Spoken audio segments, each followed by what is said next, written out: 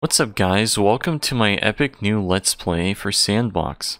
I, like many of you, have waited on that godforsaken website for 50,000 years to get this game too. Yeah, there's nothing in the game right now. Sorry, end the video. Alright, just kidding. There's entities, there's Sandworks, which is just community-made stuff, uh, and in entities, the most interesting one are, are, the guns and the car, honestly. But you also got this uh, cool uh, noise test, I guess. So yeah, you got you got your noise, you got Perlin, you got FBM, you know, classic noise. Everyone knows what these are. And you got the car. Probably probably the, the funnest bit about S&box is going to be the car because it's the only thing that actually actually does something right now. Its main focus is to make it easy to make whatever you want in the game. Not just in the sandbox game mode, but also in the game itself.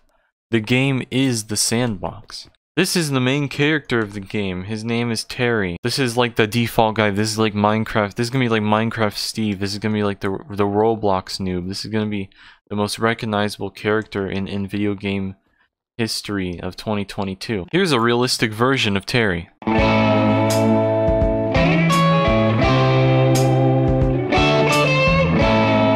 This is probably one of my favorite creations in the entire game.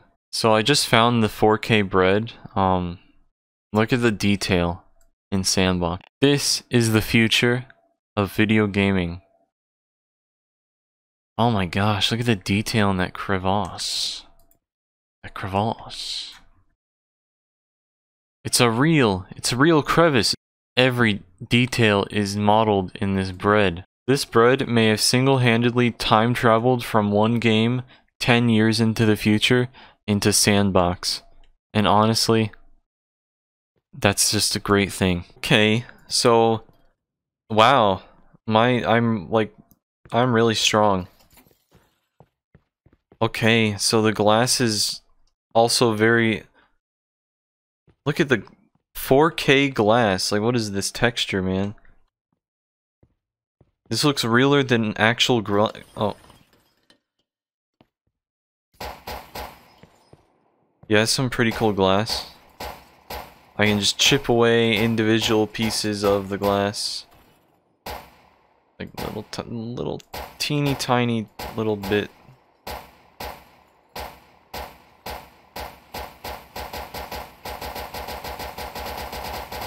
This is the new dark room.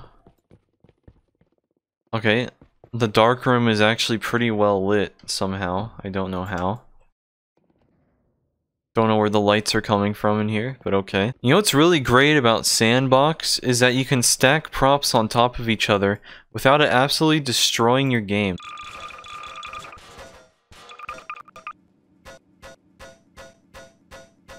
Now I can just kind of do this. And there's like barely any lag. This really is the future of video games. Direction. Oh. Oh no, I got prop killed.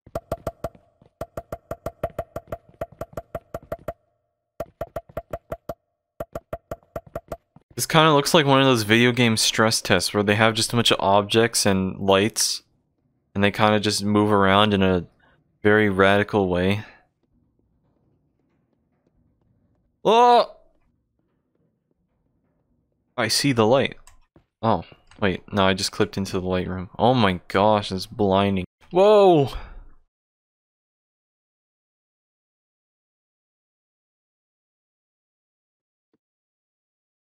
Okay, I, I absolutely destroyed my game. Oh, my game crashed. Um, subscribe, I guess?